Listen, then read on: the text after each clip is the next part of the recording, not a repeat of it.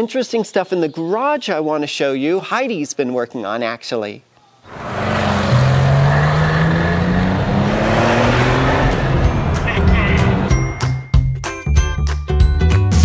Everybody, just a quick update on the 3.2 Carrera project here. I'm sorry, things have been kind of running a little bit slow, but we've been doing a lot of work in the background. And so it takes a lot of planning to get this project done. We have to work with vendors, we have to work with a lot of other things and try and figure out who's gonna do what and how we're going to do it. So I wanna run you through where we are at this point. We're getting very close to actually pulling the engine out of the car, so it's gonna be super fun. I've got some interesting stuff in the garage I wanna show you. Heidi's been been working on actually. So these are a couple of things that we've been working on for the car here. This is our engine stand. So Heidi hooked up with some people, uh, some friends in the PCA and found this guy here. So it's two pieces actually. It's this big thing that comes out and this is the yoke that you mount on the back where the transmission mounts to the back of the engine.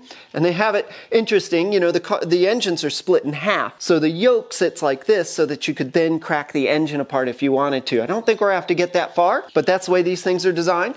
And then they just kind of go in here like this and you can turn them which is kind of cool. So you can turn the engine 90 degrees and repin it. This is a 750 pound engine stand and this guy will handle easily I know that the previous owner of this rebuilt a 911 engine on this, and that was kind of one of our criteria. I know it'll work for a 356, but they don't weigh anything. The 911 engine's pretty heavy, uh, 400 something pounds. I mean, they're pretty darn heavy. Over here we have our motorcycle lift. Now, this is just a kind of a cheapy, kind of simple motorcycle lift, but it works really well. So you can lock it.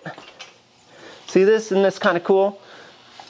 So this works great. And these two rails on here are perfect for a 356. But we're gonna get underneath the engine in a minute and I wanna show you how, uh, trying to figure out how we're going to adapt this to work really well for a 911 engine. The 911 engine has a pretty tough spine in it and then we've got, we've got heat exchangers under there that we don't wanna set the engine on. So I think this is gonna be a good start, but I think I need to build a bit of a cradle for the engine underneath. So, any rate, so we've got this, this is gonna be pretty sweet. Also, I have this.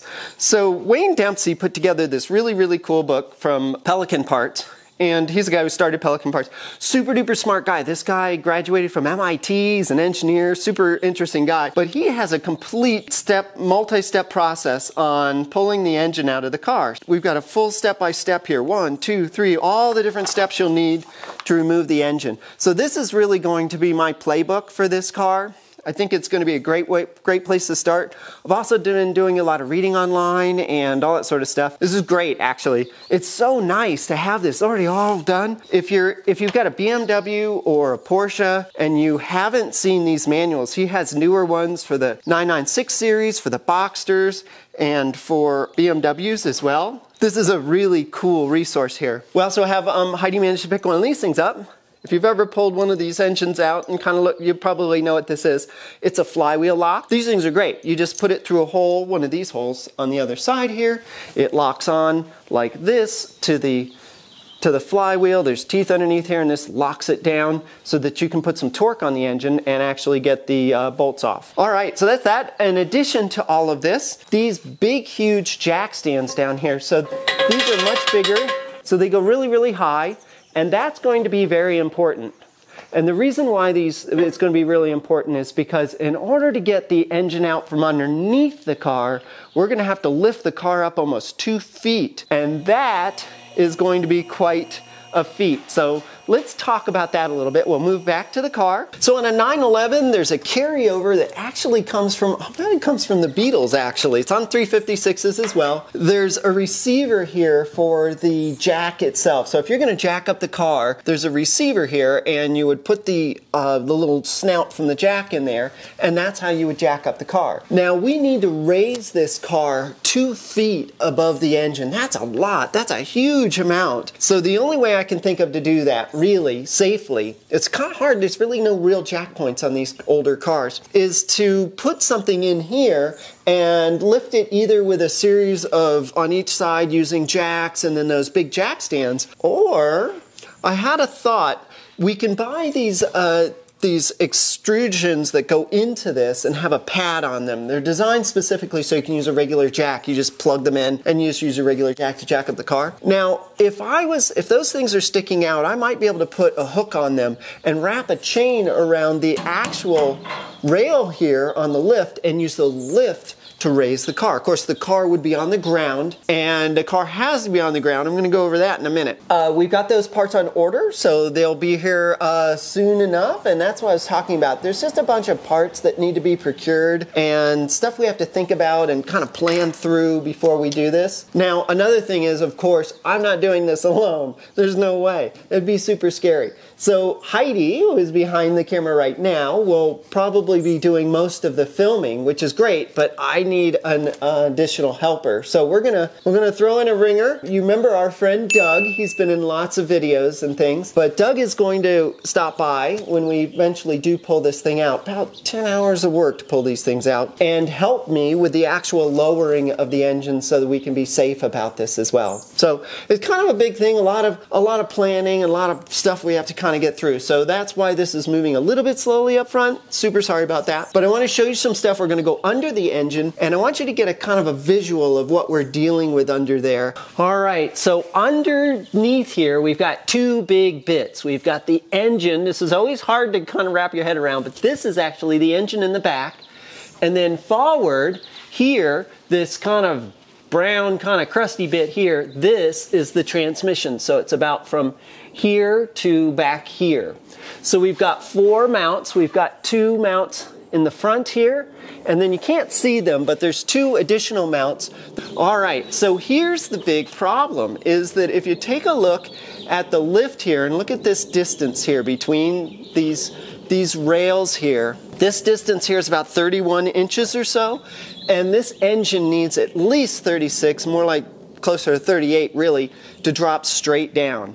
So that's the problem with a four post lift. That's why we can't actually have the car on the lift when we drop it because we'll have nowhere to go. So that's kind of a problem. And then this back bar here, this guy here is going to be in the way of the lifts and things too. It's kind of a, it, it, it kind of makes it a little bit challenging in order to get the engine out of this car. Have you heard about people actually using the back of the lift to drop the engine. That's true. So that that brings up a really good point. Thanks, Heidi. Um, is that you can do this one of two ways. You can either pull just the engine out of the car by literally separating it from the transmission, pulling its engine mounts, and sliding it backwards. Usually, I have to take the back valence and bumper off and such, but you can pull the engine out and drop it down. That's one way to do it. Or you can do it together. And if you do it together, you pull the engine and transmission together as one piece and the entire thing slides back down. So what Heidi was talking about is if you were to roll the car to where the rear wheels are right at the edge of the lift here, you can then have enough space because we know that the wheels actually here are centered with the transaxle in the in the transmission. So everything behind it would be hanging off the end of the lift. You can put a jack under it and you can drop it down. It's still a little bit of kind of get it down and pull it back a bit. So it's still a little bit complicated, but we still need to get the transmission out. Because remember, our real reason for doing this mostly is transmission related, not engine related. The work we're going to be doing on the engine is going to be mostly just the top end on the engine, just because we'll have it out. Why not, right?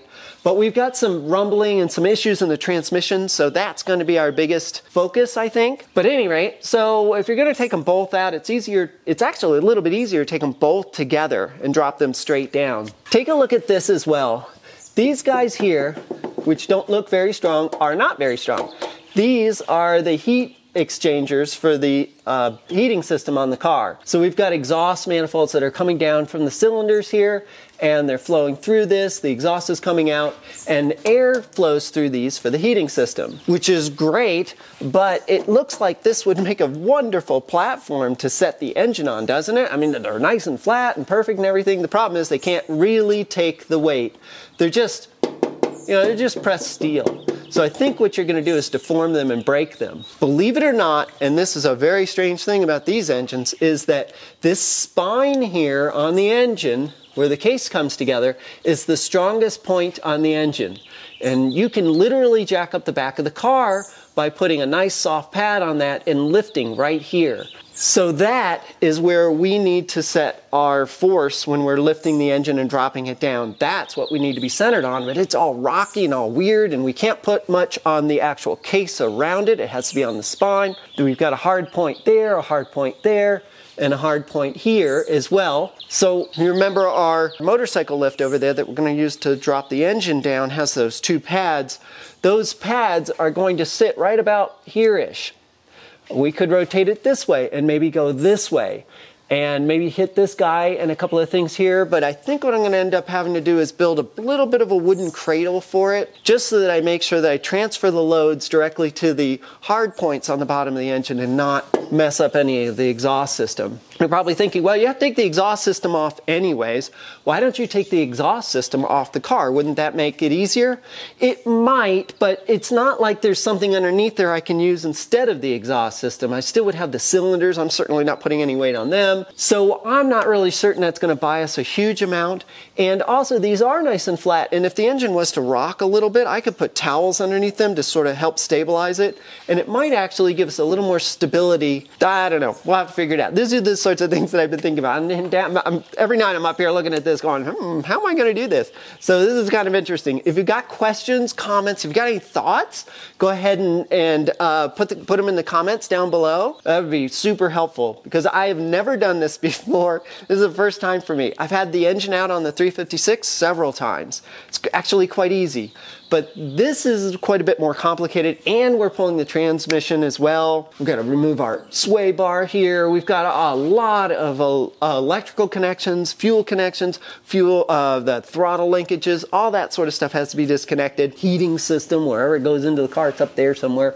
We have to take all that stuff off. So I'm going to spend like a week or so just kind of disconnecting crap on here. We've got to empty the gas tank, all sorts of stuff, and then we'll get it prepped I'll have bring Doug in and we'll go ahead and figure out an interesting way to drop it. And like I said, I think my current thinking is to have the car off the lift on the ground and use the lift to raise the car up once we get the engine completely on the ground. We'll slide it backwards, lift the car up, slide the whole shoot and match back. Then we separate the, the engine and transmission. The transmission's not all that heavy. It's about 130 or 40 pounds, so it's not that bad. And then we have to get the engine back up onto the yoke that I showed you before. So we have to mount that on the yoke. My little motorcycle jack is not going to be quite high enough to get it up on the yoke. So we might actually even use the lift to raise the engine up and then we can slide, mount the yoke to it, slide it into the engine stand, and then lower it back down, and we should be good, maybe? I don't know. These are sort of things I've been thinking. Uh, if you have any questions or comments or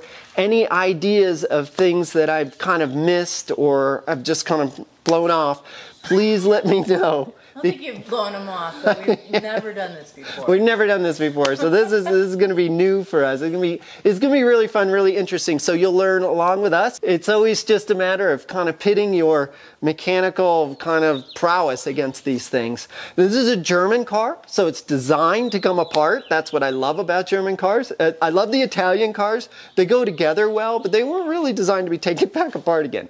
But the German cars always were. They're always designed to be maintained, and I love that about them. Um, this was just a quick update. I'm super sorry that we were, we're a little bit behind on our videos and things, and I know things are kind of slowing down, but it's just because we're doing so much research in the back end.